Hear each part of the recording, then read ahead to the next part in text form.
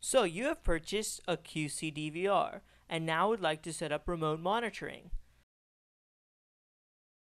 Here are 9 steps for remote monitoring setup via UPnP. Step 1.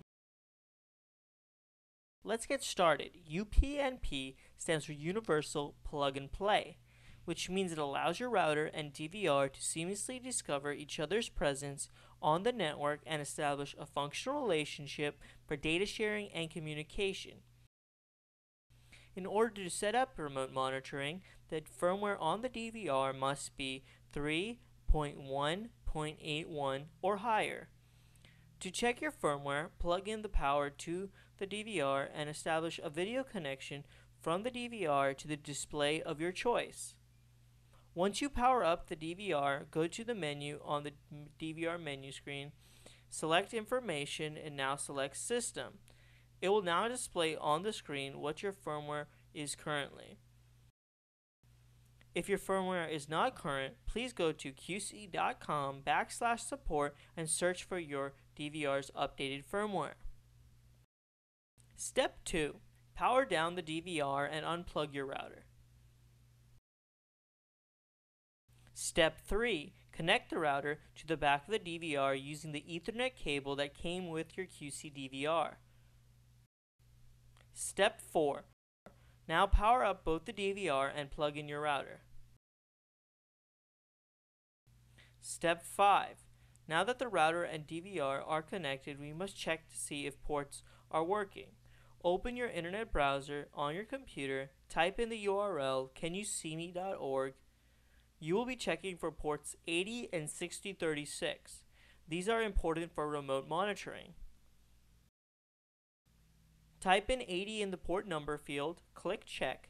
Now scroll down and it should state success. I can see with port number and IP address listed. Step 6. Now you will be checking for port 6036 with the same steps you used for port 80. Step 7. Go to http backslash myq-see.com and register for a Q-See remote account. Note, this has to be done from the PC on the same network as the DVR. Registration is complete. Step 8.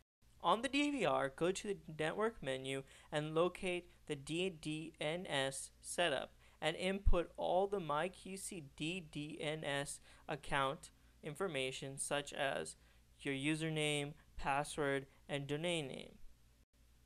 Test it. Now it should state success. Step 9. To connect remotely over the internet, open your web browser and enter the domain name in the address bar that you had registered at the MyQ-See. Congratulations! You now have finished remote viewing setup from your Q-See DVR.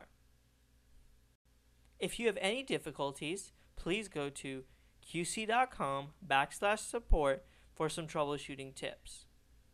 Thank you for watching.